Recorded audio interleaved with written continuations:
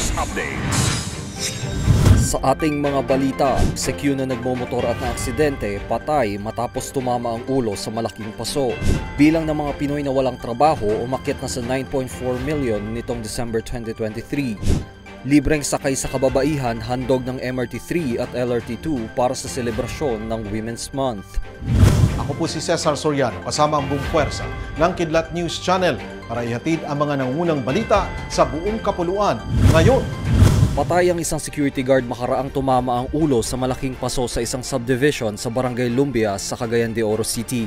Kinilala ang biktima na si Dindo Avenido Fernando, 39 na taong gulang, residente sa nasabing lugar. Ayon sa pulisya, lula ng biktima ng motorsiklo nang bigla itong mawala ng balanse na nagresulta sa pagkakabunggo nito sa matigas na paso.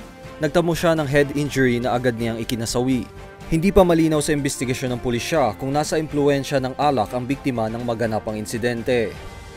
Umakyat na sa 9.4 million ang bilang ng mga Pinoy na walang trabaho nitong December 2023 mula sa 7.9 million noong September 2023 batay sa survey ng Social Weather Station o SWS. Mas mataas ito ng 2.6% kumpara sa 16.9% jobless rate noong Setyembre ng nagdaang taon na kumakatawan ang bilang na ito sa 19.5% ng adult labor force sa bansa. Ayon sa SWS, ang nasabing bilang ay binubuo ng mga Pinoy na voluntaryong umalis sa dati nilang trabaho, first time part-time job seekers o mga nawala ng trabaho dahil sa economic circumstances. Kaugnay nito, tumaas ang bilang ng jobless Filipinos sa lahat ng lugar maliban sa Balance Luzon kung ikukumpara sa resulta ng third quarter survey noong 2023.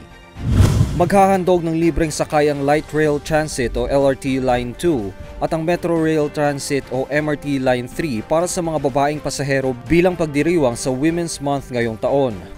Sa magkahiwalay na advisory, ipatutupad ng LRT2 at MRT3 ang libreng sakay para sa kababaihang pasahero mula alas 7 hanggang alas 9 ng umaga at mula alas 5 ng hapon hanggang alas 7 ng gabi sa ikawalaw ng Marso araw ng Biyernes.